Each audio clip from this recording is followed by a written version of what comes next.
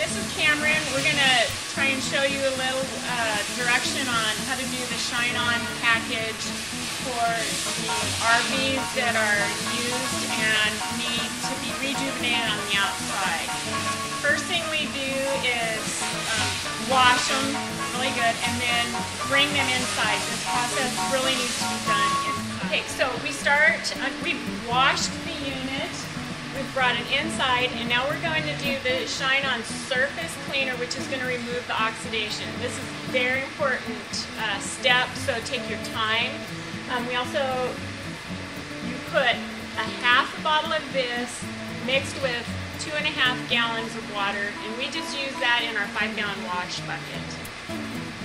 Um, you take it off with the there's a white scrubby that you can get. It's you can get it from Cisco. It's China scrubber, and um, it's not. It's a, just very mildly abrasive, but it won't scratch the unit. And we'll show you what that looks like. Um, okay, so we've mixed our half a gallon of the cleaner in our wash bucket right here. It suds up a little bit, and um, we've got our China scrubber, which is this. It's a white one. And now Cameron is going to show you how to apply it onto the unit.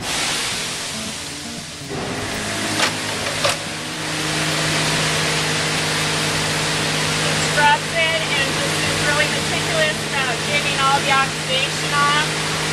And um, you get every inch, every single part of the unit scrubbed with this stuff. And then it's very, very important to not let it dry on there. So you'll have to be rinsing a lot. Don't let this dry. Okay, so now Cameron has applied the, the cleaner and now he's just done a small section and so that it doesn't dry, he's going to rinse it well.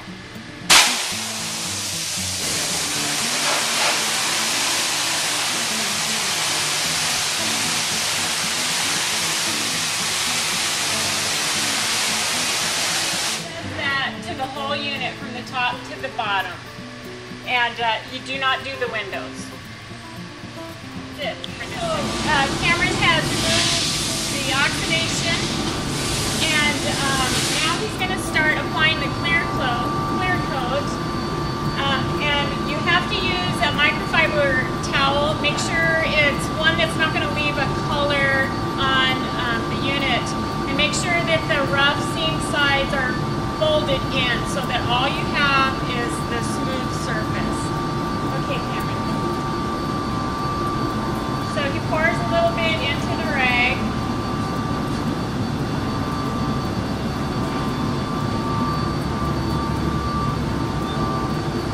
It just in a smooth stroke.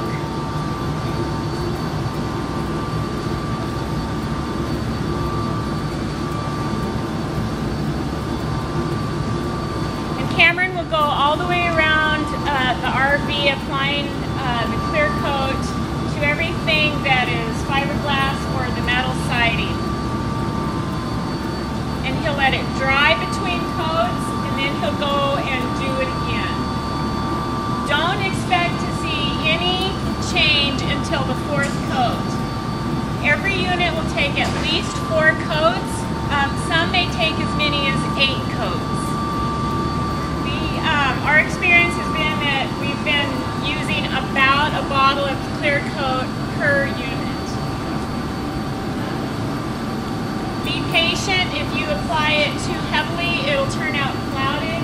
If you apply it too light, it, uh, it's better to apply it too light, but um, it won't go as quickly if you apply it too light of a coat.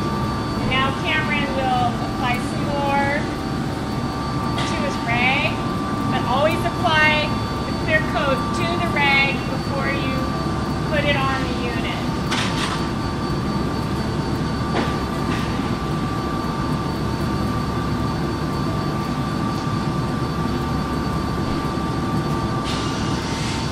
And he will even apply the clear coat to the vinyl or the rubber.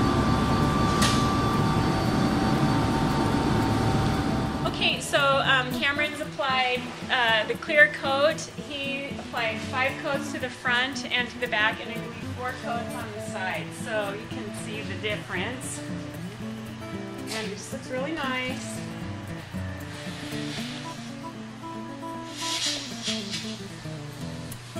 And um, typically we allow um, 10 hours for uh, the whole process on, on any coach. If it's, a, if it's a large one, maybe allow a little more time. If it's smaller, maybe less time. So just right now we're allowing 10 hours. Thanks.